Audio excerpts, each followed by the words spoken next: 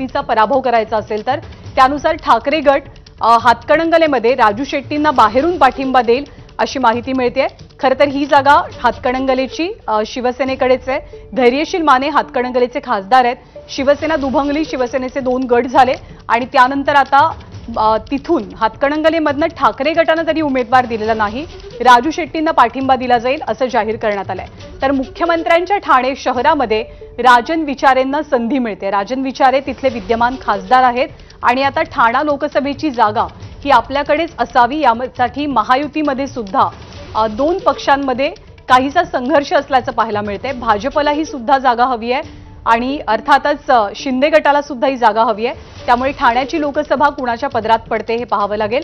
अरविंद सावंत आपल्यासोबत आहेत. दक्षिण मुंबईचे शिवसेनेचे ठाकरे गटाचे उमेदवार. अरविंद सावंतजी नमस्कार. सगळ्यात आधी तुमचं अभिनंदन. पक्षानं पुन्हा एकदा संधी दिली आहे.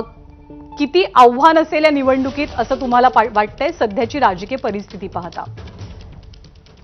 मला आदरणीय उद्धवजींनी आम्हा सर्वांची जी नावं जाहीर केलीत ती पाहता तुम्हाला सगळ्यांना लक्षात येईल. की ती सगळी नावं नाही आहेत ती सगळी विजयी उमेदवारांची नावं आहेत. आणि निवडणुकीमध्ये जे काही देशात चालू आहे आजही ज्या पद्धतीनं सूड भावनेनं कपटीपणानं जे राजकारण सुरू आहे ते देशाच्या इतिहासात कधीच असं घडलेलं नाही. आणि म्हणून देशातील जनता या सगळ्या संधीची वाट पाहत आहे. एकदा निवडणूक येऊ द्या म्हणजे यांना जागा दाखवता येईल. ज्या पद्धतीनं भ्रष्टाचाराच्या विरोधात यांनी राळ उठवली तो भ्रष्टाचार शिगेला नेण्याचं काम यांच्याच पक्षानं केलं. इतक्या घाणेरड्या पद्धतीनं भ्रष्टाचार केला तो उघडकीस आलाय मग दुसऱ्याला बदनाम करायचं. म्हणजे मग मी बदनाम आहे त्याच्याविषयी हा कसा बदनाम दाखवत ते डायव्हर्ट करायचं. हा सगळ्या म्हणून इलेक्ट्रॉनिक बॉन्डचा विषय आल्याबरोबर केजरीवालांना अटक होते.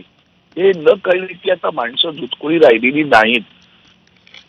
त्यामुळे भ्रष्टाचारात अखंड बुडालेले वैचारिक भ्रष्टाचारात पण अखंड बुडालेले. असा हा पक्ष आहे. त्यामुळे यात मला वाटतं आदरणीय उद्धवजींनी आम्हा सर्वांना जी त्याबद्दल पहिल्यांदा आमचे पक्षप्रमुख आदरणीय उद्धवजी ठाकरे साहेब यांना मनापासून धन्यवाद देतो. आणि ही सर्व आघाडी म्हणून जुटेगा भारत जिडे जितेगा इंडिया असं आम्ही आता पुढे जाणार आहोत. एक बाकीच्या मतदारसंघांबद्दल पण एक दोन छोटेसे प्रश्न आहेत ते विचारते सांगलीबद्दल थोडीशी नाराजी अजूनही असल्याची कुणकुण आहे आज काँग्रेसचे शिष्टमंडळ बोलणं बरोबर नाही हं. मी जी आमची कमिटी ज्यांनी आम्हाला आदरणीय उद्धवजींनी दिली हं. त्यावर मी भाष्य करणं ते योग्य होत आणि मी कुणावरही भाष्य करणार नाही अच्छा तर तुमच्या. तुमच्या मतदारसंघाबद्दल प्रश्न विचारते. तुमच्या विरोधात कोण उमेदवार असेल याची खूप जास्त चर्चा आहे. मतदारसंघ भाजपकडे जाणार शिवसेनेकडे जाणार का आणखी एक नवा मित्र या मतदारसंघातनं लढवणार? तुम्हाला कोण आवडेल तुमच्या विरोधात उमेदवार म्हणून?